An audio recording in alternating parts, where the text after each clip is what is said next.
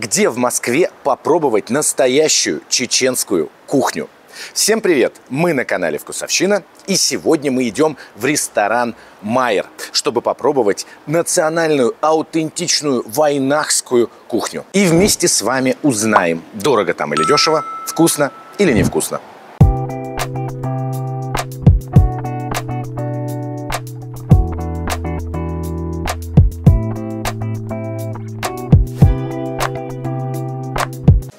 Ресторана Майер включает в себя не только национальную чеченскую кухню, но и всем привычное фьюжн-меню, например, греческий салат, цезарь вы также здесь можете увидеть. Здесь есть авторская кухня, а, некая переработка а, национальной войнахской кухни, но уже на современный лад. Но мы Напомню, будем обозревать сегодня именно войнахскую кухню, и это будет чуть ли не первый обзор на канале, когда вот действительно я никогда не пробовал национальную чеченскую кухню, и это будет обзор, где не получится ни с чем сравнивать. То есть, когда мы с вами пробуем какую-нибудь популярнейшую кухню, итальянскую, грузинскую, мы все время сравниваем заведения, где лучше, где хуже, у нас уже есть какое-то свое мнение, а здесь мнения никакого нет, поэтому это будет прям наичестнейший обзор. Первая часть нашего большого заказа – это суп а, с красной фасолью и сушеным мясом. Прошу обратить ваше внимание, что все мясные блюда здесь э, делаются из чеченского мяса. В принципе, все продукты, из которых делается войнахская кухня, привезены из Чечни, вплоть до муки, э, вплоть до творога и прочих э, кисломолочных продуктов. Сискал тубиром – это национальная чеченская кукурузная лепешка. Я обещал ни с чем не сравнивать, но чтобы было понятнее, это аналог грузинских мчади Э, кукурузных. А, собственно, сискал – это название лепешек, а тубиром – это вот этот соус. А, здесь э, смешан а, творог и сметана. И чепалгаш – это национальные чеченские лепешки, в нашем случае с зеленью и творогом. Суп с красной фасолью и говядиной за 590 рублей – Такая достаточно большая порция. Можете посмотреть, ложка практически утопает здесь. Очень интересно приготовлено. Нам сказали, что изначально это мясо привозится сюда уже в сухом виде, а потом отваривается. Вообще, в принципе, войнахская кухня позиционирует себя как одна из самых диетических и полезных. Хотя фасоль на самом деле не такой уж и легкий продукт. И еще очень интересный факт – войнахская кухня не обладает э, большим количеством специй, во всяком случае. Об этом везде так пишется.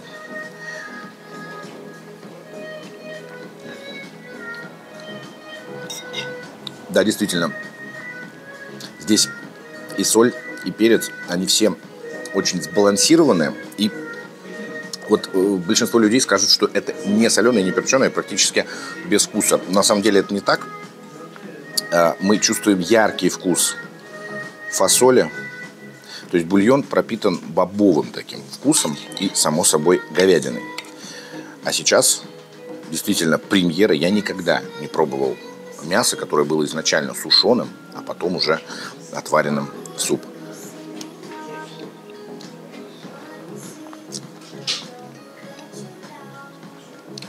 Я вам скажу, это очень нежно.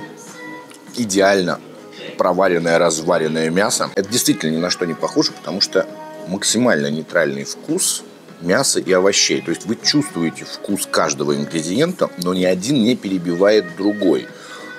Действительно, таких сочетаний я не встречал. И очень сытно. Потому что бобы, на самом деле, это для тех же вегетарианцев заменитель мяса, потому что чистый прям белок. А здесь и мясо, и фасоль, и, конечно же, картошка. То есть, если вы съедите полностью такую порцию супа, то не знаю, захотите ли вы второе блюдо после этого заказывать.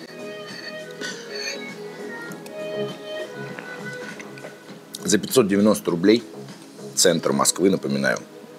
То сейчас напишу, что это очень дорого для супа. Ну, все-таки Кропоткинская, вот там вот за углом. Мне кажется, идеальная цена. Следующее блюдо – сискал тубером. На самом деле очень непривычные названия. Очень не хочется их коверкать, но действительно чеченский язык абсолютно никому не ведом. И вы сегодня несколько названий сможете выучить. Итак, кукурузная лепешка. Из кукурузной муки. Напомню, что продукты везутся все из Чеченской Республики. Ну, действительно, здесь, конечно, я вам Америку не открою. Кукурузная лепешка. Запах такой а, кукурузной муки, он не особо яркий. Она очень хорошо обжарена. Мы можем с вами увидеть, что не пережарено. Все очень, очень хорошо. Украшено зеленым луком. Пока не знаю почему. По классике пробуем сначала без соуса, а потом с соусом из творога и сметаны.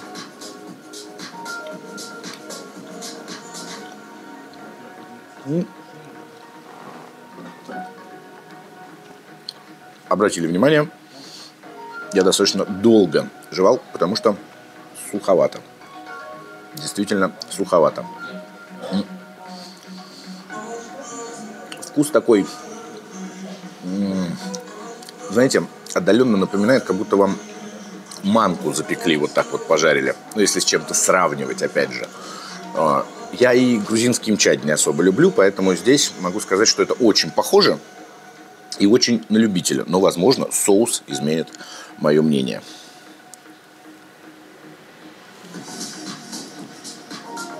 Напомню, что стоит это 470 рублей. Уже есть вопросы все-таки.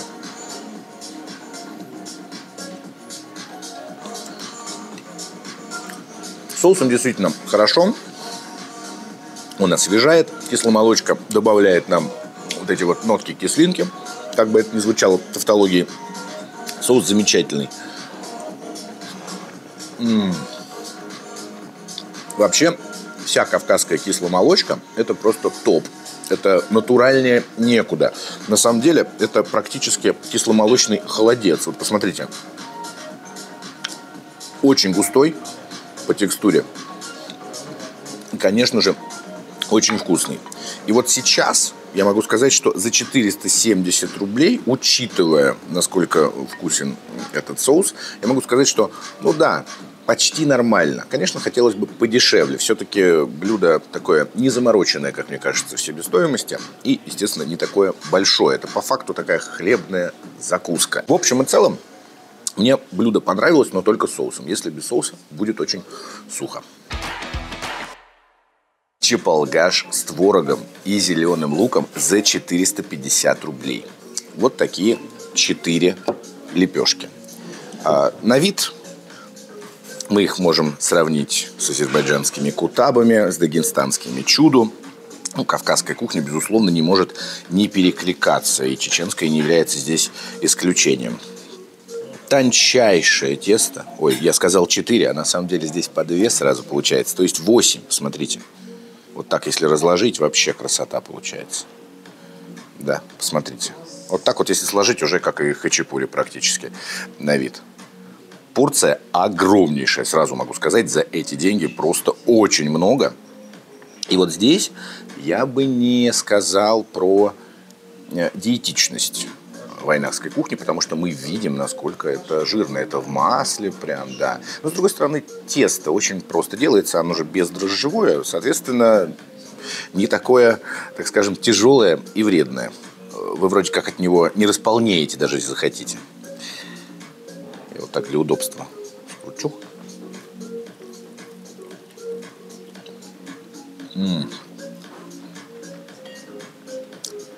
Знаете, стало пожирнее и повкуснее, я вам так скажу. Чума. Просто офигенно. А, натуральный творог, лук практически не чувствуется. То есть он есть, но он чисто, не знаю, мне кажется, для создания э, некой нотки знаю, остринки, ну что-то такое. По большому счету, даже если бы его здесь не было и был бы только творог, хуже бы от этого не стало. Но, в принципе, на Кавказе везде любят добавлять зелень. Это тоже часть национальных традиций.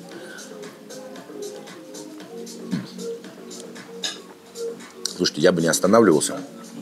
Вот если я это все съем, то дальше, к сожалению, я не смогу пробовать остальные блюда, которых будет еще достаточно много. Соотношение цены и качества за 450 рублей, но это можно взять на двоих, на троих, в стол, если вы пришли компанией. Просто идеально. И все-таки я не удержался и заказал одно блюдо не из войнахского меню. Это салат Майер, то есть фирменный салат этого заведения из основного меню. Здесь у нас миньон на углях, узбекские томаты, крымский лук, кинза и соус ткемали. То есть, э, вы понимаете, по сочетанию продуктов это практически сочетание большинства самых э, вкусных э, кухонь мира. Не побоюсь этого слова. Давайте его разберем чуть-чуть. Кинза, все без обмана. Красный лук, овощи, томаты на вид сладкие. На вид. Вообще в этом сезоне в Москве проблема с томатами, не знаю уж почему. Мясо прекрасно. Слушайте, ну вид, конечно же, очень инстаграмный. Очень красиво и очень круто. Есть одно небольшое но – Стоит он 950 рублей. Для салата, казалось бы, цена дорогая, но мяса-то много, вы видели все-таки, извините. Это миньончик, а это недешево по нынешним временам. Вообще хочется сказать, что цены, конечно же, здесь ресторанные. Мы что, с вами находимся именно в ресторане. И здесь белые скатерти, очень красивый интерьер. И, что немаловажно, здесь есть алкоголь. А обычно это не принято в национальных кавказских ресторанах. То есть здесь у нас светское заведение, поэтому сюда может прийти абсолютно любой человек, который хочет просто поесть или выпить, или и поесть, и, собственно, закусить. Начинаем пробовать салат. Самое сложное, мне кажется, это зацепить вот так вот все ингредиенты. Вроде получилось. Мне кажется, очень красиво выглядит. Да даже не кажется, я уверен в том, что это очень красиво. Надеюсь, это будет очень круто и по вкусу.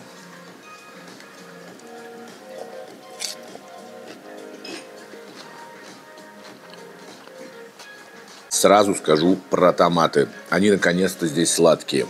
В смысле, не наконец-то именно тут, а вообще, в принципе, в ресторанах этим летом в Москве днем с огнем не найдешь. Какой-то томатный кризис у нас практически. А здесь сладкие. Порция достаточно большая. Мяса много. Уж для салата прям максимально много. Все ингредиенты вкусные, свежие. Да, 950 рублей, конечно же, являются единственным минусом этого блюда. Даже несмотря на то, что здесь есть мясо, потому что, э, в принципе, средний обыватель никогда не поймет салата за 950 рублей. На мой вкус, конечно же, он отвечает э, соотношению цены и качества, но дороговато. Возвращаемся к войнахской кухне, и у нас на столе жижик-галнаш, сушеная говядина – Напомню, что все сушеное мясо сюда везется из Чечни, а потом уже здесь отваривается снова. Также мы видим здесь галушки, галушки из пшеницы и галушки из кукурузной муки. Э, напомню, что мука также вся везется из Чеченской Республики. И два соуса. Картофельный, чесночный и бульончик, чтобы все это запивать. А я попробую его сразу.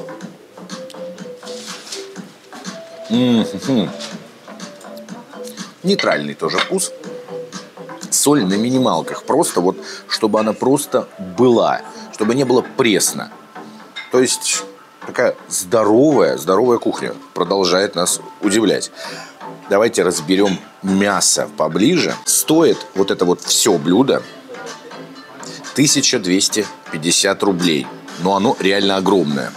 Не сказал бы, что его можно взять на двоих. Все-таки это блюдо для одного человека, ну, очень много. Ну, очень много. Мясо. Вот смотрите, такое, да? Жесткое. Прям, видите? Вот, то есть... А вот если так, то уже и мягкое. То есть оно как бы снаружи такая некая корочка. Не знаю почему, оно же вареное. Вот так оно, пожалуйста, на волокна расходится. Смотрите. Вот оно, вот, пошло, пошло на волокна, очень хорошо. Дайте я попробую сразу.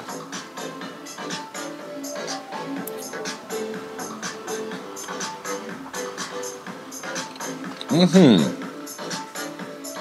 А вот здесь как раз вся история с тем, что а, в чеченской кухне мало соли, мало перца и вообще мало специй, как-то уходит на второй план, потому что это очень соленое мясо. Максимально соленое. Это просто вот, знаете, под пиво бы такое сушеное отваренное мясо очень хорошо пошло бы. Я прям возьму в руки сейчас.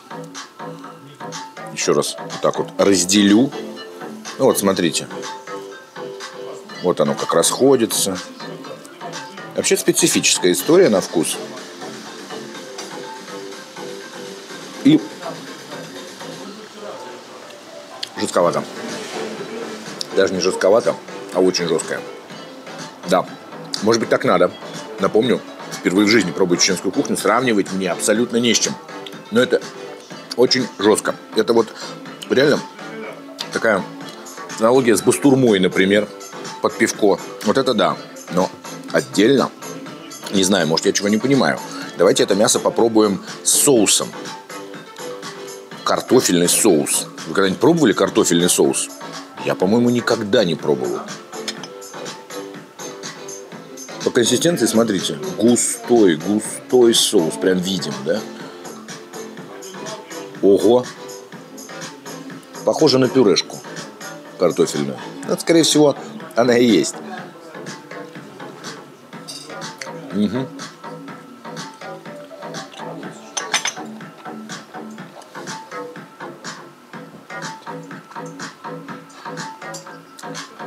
Соус не размягчил мясо. Очень хочется это мясо запивать. Не зря здесь есть бульон.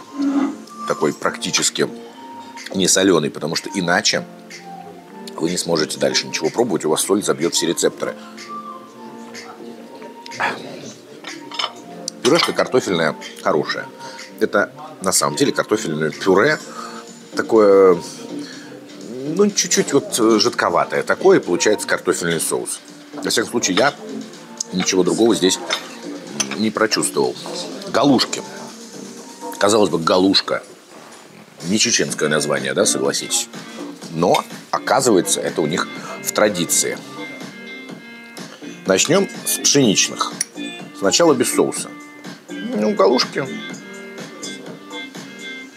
не обладают ярким запахом, так и не должны, собственно.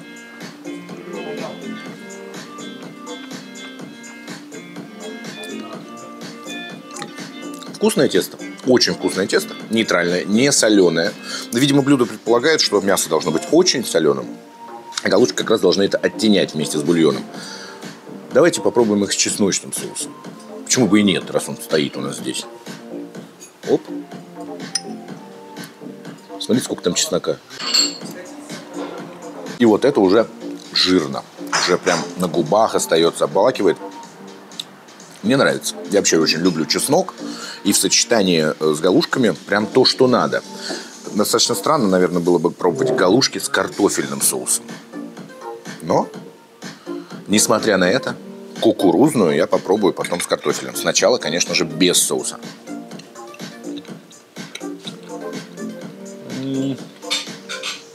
Все-таки кукуруза не мое. Ну, вообще нет вкуса. Вот вроде знаю, что кукуруза, а вкуса нету. Для этого, конечно, есть соусы. Не знаю, кукуруза с картошкой. Ну, давайте. Не. Вот прям совсем не то. Не знаю. Лучше бы пшеничных побольше положили. Как-то они вкуснее, сочнее, что ли. И попробую говядину с чесночным соусом. Мне кажется, вот это сочетание будет прям топовым. Во всяком случае, на словах.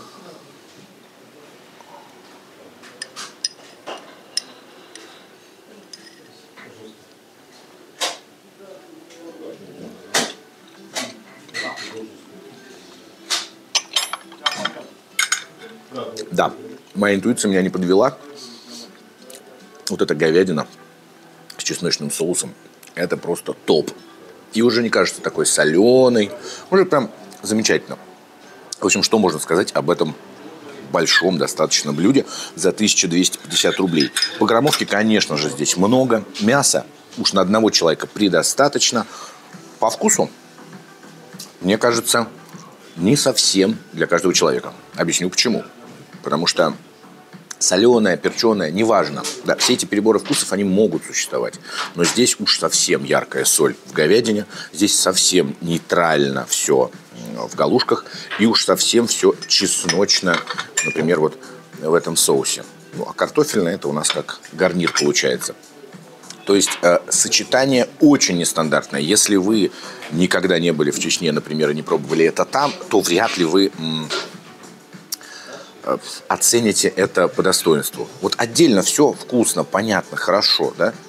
Но все вместе для меня очень спорно. Тем более за 1250 рублей. Э, большому счету, все, кроме мяса, не обладает уж очень большой такой себестоимостью. Пока это самое спорное блюдо. Что интересно, предыдущее блюдо, жижик галнаш, можно было заказать и с отварной говядины, и с курицей, и даже с козленком. Но, несмотря на то, что мне очень захотелось попробовать именно с козлятиной, я решил, что а, мы не будем именно такое же блюдо заказывать, а заказал козленка из основного меню. Это козленок с розмарином и картофелем. И стоит он 1450 рублей. Запеченное мясо, запеченный картофель. А, кстати, важная ремарка. Козлятина не из Чечни, а с Фудсити. Нам честно в этом признались. От этого не хуже, я думаю. На Фудсити тоже вполне себе хорошие качественные продукты. Звучало сейчас как реклама. Но, увы, увы, это не так. Я козленка пробовал, наверное, раза три в жизни. И не помню, как на вкус, поэтому это тоже будет прям такое наисвежайшее мнение о вкусах. Он прям разваливается, посмотрите. Ой, прям как он отходит от кости. Вы посмотрите, прям нежнейшим. Вот прям даже вот оп-оп, прям на волокна весь разошелся. Получается у нас такое рагу из козлятины, если вот все это так перемешать.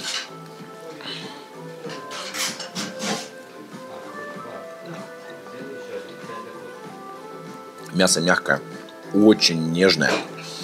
И несмотря на то, что это из основного меню, здесь мы чувствуем войнарские нотки. Объясню почему. Не соленая, то есть практически классика чеченской кухни, когда соли на минималках есть. Здесь, по-моему, вообще нету. Очень вкусный козленок. А какой же он на вкус? Сложно очень передать козлятину на вкус. Но смотрите, это не говядина, не баранина, не свинина, конечно же. И не курица, само собой. Очень сложно это с чем-то сравнить. Но это чистейший вкус мяса. Специй абсолютно нету. И мне лично их, конечно же, не хватает. Розмаринчик есть он сверху, он придает аромат блюду в целом, да, и очень хорошо сочетается с э, картофелем запеченным, это все замечательно.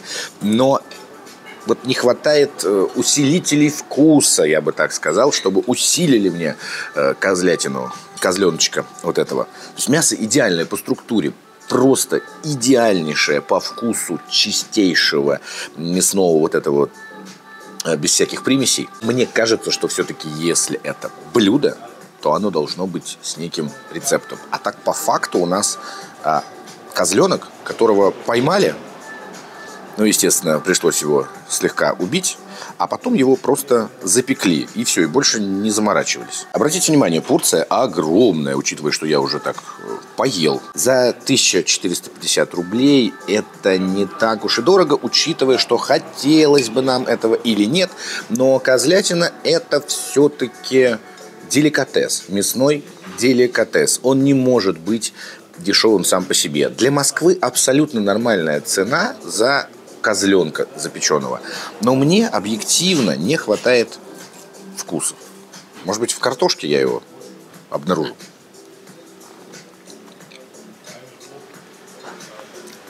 Сама вся картошка идеально, идеально просто пропеклась но тоже без соли, без всяких специй. Но зато не дико крахмалистая, хороший картофель, очень качественный. В мундирчике. То есть, в общем, это блюдо очень сложно оценить. Смотрите, почти полторы тысячи рублей, огромная порция, козленок.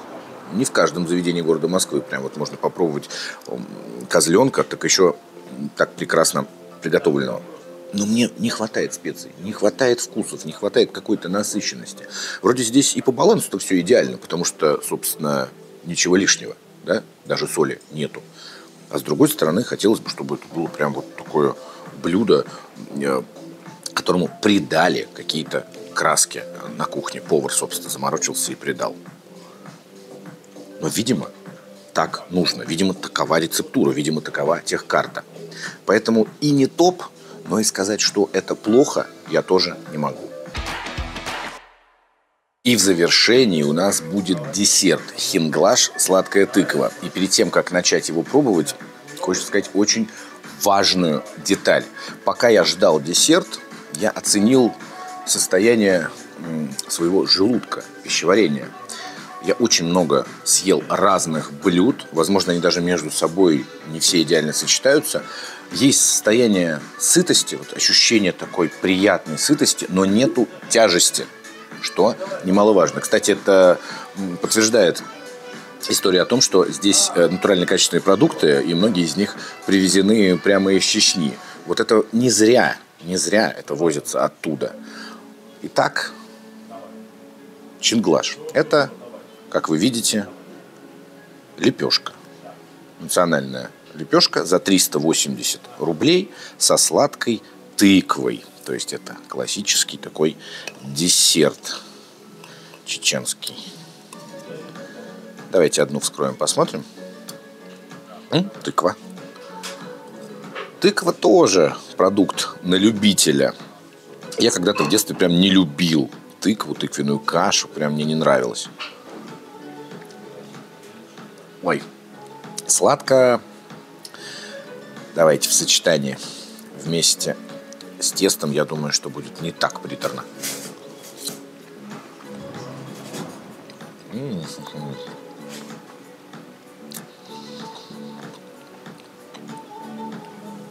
Это прям тыквенное варенье, что ли. А вроде просто сладкая тыква. Не написано, что варенье. Если бы я пробовал в закрытую, не знаю, что это, я бы сказал, что это тыквенное варенье. Очень круто, очень вкусно. Ну, понимаете, да, если съесть все вот это одному человеку, то, в принципе, сразу можно начинать с десерта и больше ничего и не заказывать. Поэтому, если будете брать, э, берите один такой э, десерт на двоих. 380 рублей при ценах современных, нынешних, на десерты в городе Москва, вообще копейки просто по соотношению объема это очень много и очень питательно. Ну, безусловно, вкусно. Под чай с чабрецом, в очень любят именно чай с чабрецом пить. Прям идеальное сочетание. Что я могу сказать о ресторане «Майер»? Ну, действительно, такую кухню я никогда не пробовал. И войнахскую, кстати, и не войнахскую действительно никогда и нигде не пробовал. А по ощущениям, ну, как вы обратили внимание, такое вот что-то вроде как и очень все хорошо, балансировано, здоровая еда, натуральное мясо, что немаловажно, ну, вроде как и есть такое ощущение недосказанности. То есть где-то не хватило соли, где-то ее было с перебором, а где-то вообще не хватило вкусов. Но зато именно здесь вы, например, можете попробовать натуральное мясо – то есть с натуральным вкусом. А вкус натурального мяса мы с вами, в принципе-то, практически уже и забыли. Мы привыкли к специям, мы привыкли к усилителям вкуса.